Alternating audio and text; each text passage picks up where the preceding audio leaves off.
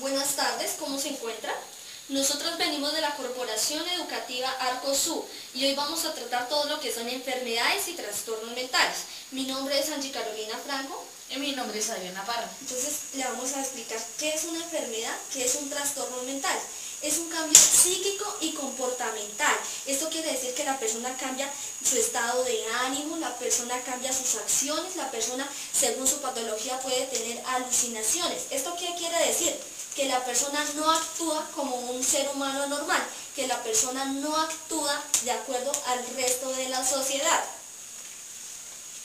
Bueno, eh, eh, su clasificación son psíquicos y neuróticos. De forma, gen- eh, el psíquico significa un estado en el que el paciente ha permitido el contacto con la realidad, mientras que el neurótico se refiere a un estado de malestar y ansiedad, pero sin llegar a perder el contacto con la realidad. Entonces también una de las enfermedades más comunes, las patologías más comunes, es la esquizofrenia.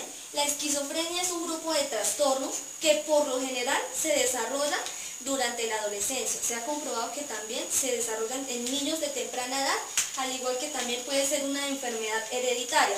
En esta enfermedad la persona se siente perturbada, la persona se siente perseguida ya que esta tiene recurrentes alucinaciones. En varios casos la persona puede actuar de manera agresiva, puede atentar contra su vida, al igual que, contra, o sea, al igual que con las otras personas, ya que la persona no sabe diferenciar entre la realidad, porque mm, se confunde por sus, sus alucinaciones. Bueno, los trastornos paranoides. Eh, su síntoma principal es la idea delirantes, creencias falsas y firmemente asentada o residente por ellos a la crítica. Listo, el retraso mental. Esta es una afección que se da en los niños, bueno, y también en los adultos. El retraso mental se caracteriza por la incapacidad de aprender. El niño no tiene la misma capacidad que aprender que los otros niños de su edad.